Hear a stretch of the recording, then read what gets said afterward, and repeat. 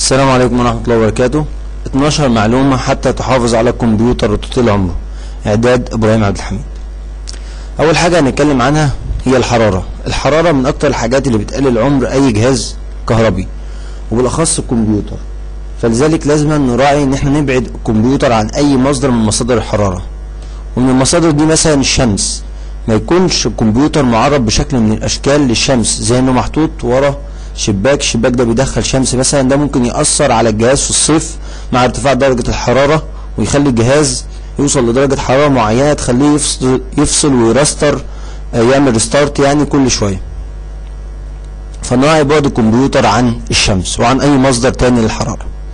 تاني حاجة هنتأكد من كفاءة تشغيل مراوح التبريد. الكمبيوتر فيه مراوح آه، تبريد كتير. من ضمنها مثلا في الكيسة في ثلاثة مشهورين قوي اللي هو مروحة التبريد اللي موجودة جوه ال power supply ومروحة التبريد اللي خاصة بال processor بالذات خاصة بال processor لوحده ومروحة التبريد اللي موجودة في الغطاء بتاع الكيسة ودي خاصة بالجهاز ككل. التلاتة لازم نتأكد إن هم شغالين بكفاءة وما بيصدروش أصوات أو سرعة دورانهم مش قليلة ونتأكد إن هم شغالين علشان يضمن لنا ده تهوية كويسة للجهاز ودي النقطة اللي بعد كده إن الجهاز لازم يتهوى كويس بمعنى إن لو المراوح دي مش شغالة ممكن نفصل ال- الغطا بتاع الكمبيوتر ونجيب مروحة تانية نوجهها على الكمبيوتر. يعني نشيل الغطا بتاع الكيسة ونوجه عليه المروحة بأي شكل من الأشكال بس نضمن إن يحصل تهوية كويسة للكيسة.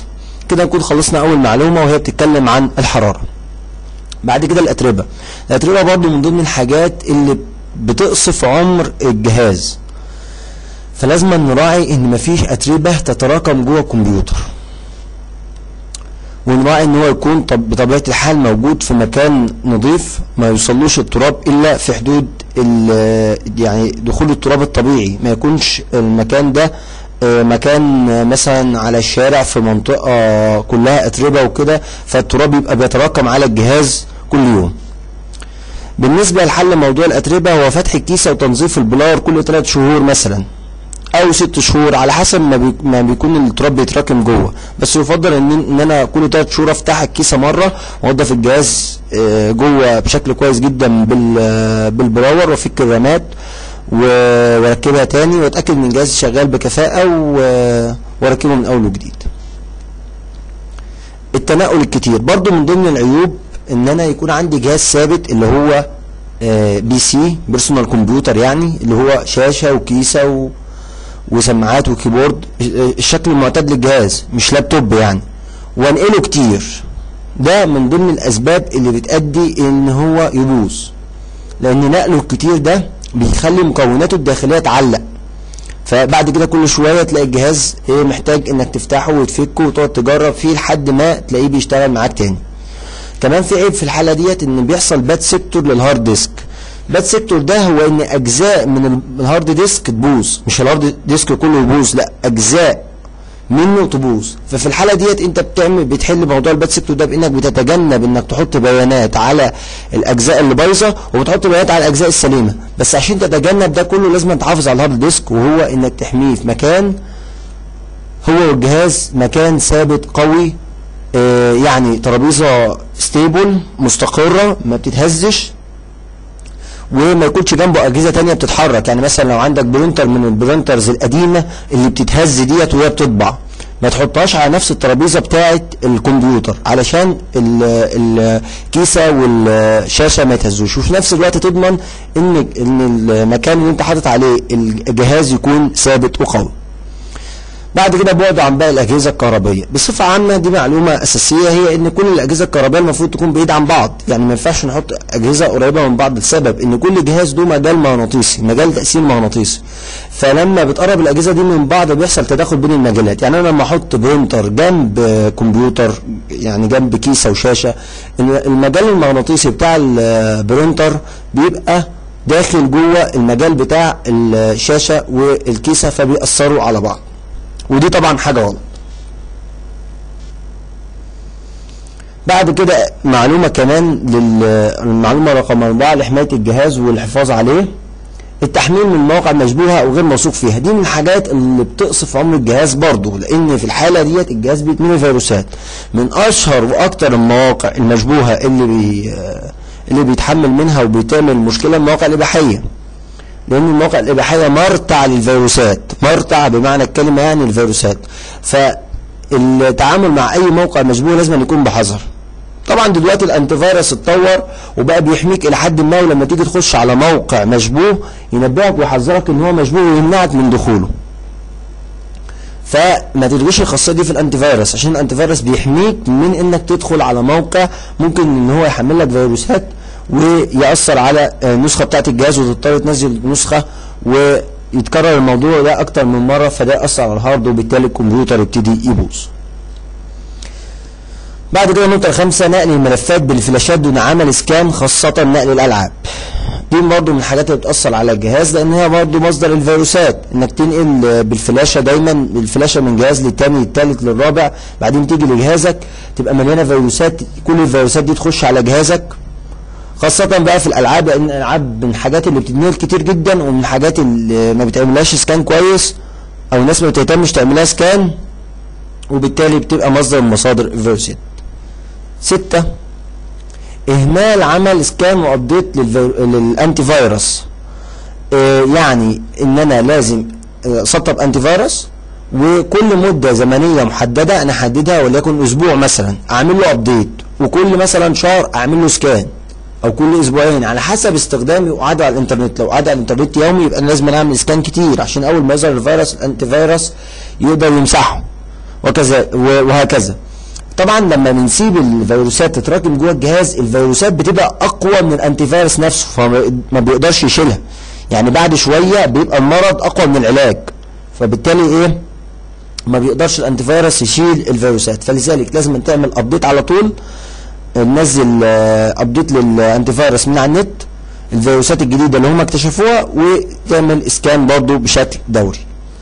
طبعا ممكن تحل المشكلة ديت بإنك تظبط ال antivirus على موعد ثابت للتحديث ومسح الفيروسات التلقائي. يعني ال antivirus دلوقتي بيبقى فيه خاصية اللي هي الاوتوماتيك update أو ال automatic scan بتحدد له يوم معين مثلا وليكن يوم الجمعة من كل أسبوع الساعة مثلا وليكن 8 بالليل أي وقت وأي ساعة يعني. في الميعاد ده كل أسبوع هو لما أنت بتفتح الجهاز بيعمل update أو بيعمل scan على الفيروسات. بعد كده النقطة السابعة عدم وضع أي مشروبات بالقرب من الكمبيوتر أو فوق. طبعا دي من الحاجات اللي برضه بتأثر على الجهاز إن توصل له مية أو أي مشروب يقع عليه فده يؤدي إلى إن ممكن البوردة بتاعته يا إما تتحرق يا إما تتأثر. بالموضوع ده. 8 استخدام مشترك كهرباء خامته جيدة. من ضمن مشاكل حرق الكمبيوتر هي مشاكل الكهرباء.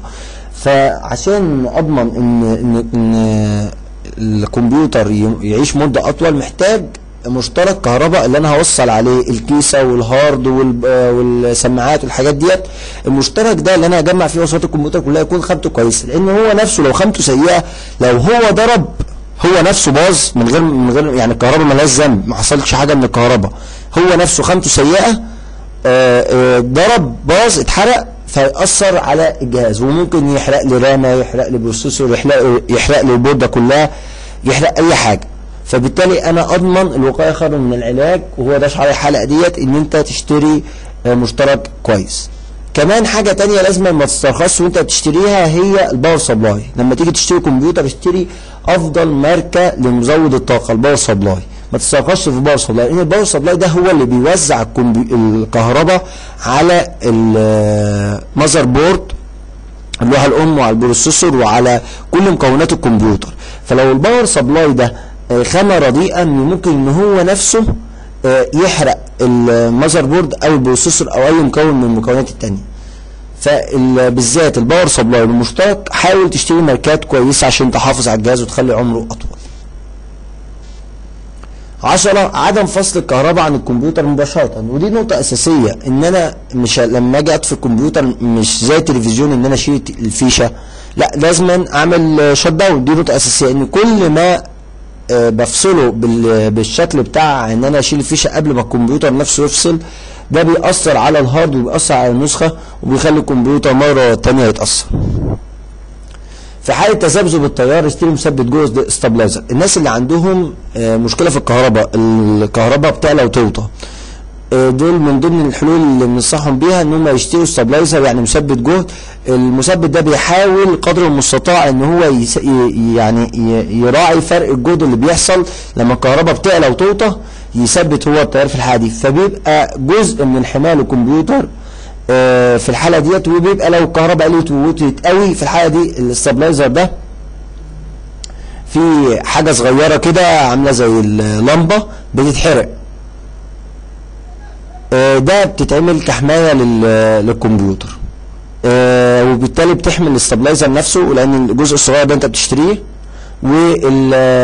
وبقية الجهاز بيفضل سليم. لو صاحب شركة أو عندك أجهزة كتير اشتري يو بي اس يو بي اس ده آه، جهاز بيتوصل عليه آه، لما بيبقى عندك أجهزة كمبيوتر كتير جدا واحد مثلا صاحب شركة عنده 100 جهاز كمبيوتر مثلا أو صاحب آه، محل cyber net عنده 20 جهاز أو 25 جهاز. في الحالة دي هو لو حصل مشكلة في الكهرباء وعليت ووطيت فجأة والأجهزة دي كلها اتحرقت منه هتبقى التكلفة عليه كبيرة جدا. ففي الحالة ديت ما يستخسرش ويشتري UPS ال UPS ده وظيفته إيه؟ ال UPS ده زي بطارية زي بطارية. بيسمح لك بإنك تحتفظ بالتيار أو هو بيولد لك تيار لمدة مثلا نص ساعة بعد ما الكهرباء تقطع. يعني بعد ما الكهرباء تقطع هو بيبقى الأجهزة متوصلة عليه. بعد ما الكهرباء تقطع الكهرباء قطعت خلاص. الأجهزة بتاعتك ما زال واصل لها كهرباء من ال UPS لمدة مثلا 10 دقائق ربع ساعة نص ساعة على حسب قدرته هو. طبعا في الحالة دي بتقدر تحفظ ملفاتك اللي انت كنت شغال عليها بدل ما هتروح لأن الكهرباء قطعت. بتقدر آه، تعمل shut down للجهاز بشكل طبيعي وتنتظر لما الكهرباء تيجي وهكذا. فبتحمي آه، عدد الأجهزة الكبير بتاعك فبتقلل الضرر عليك. المعلومة 12 اعمل صيانة وقائية سنوية على الأقل. يعني لازم كل سنة تعمل صيانة للكمبيوتر زي ما بتعمل صيانة للعربية.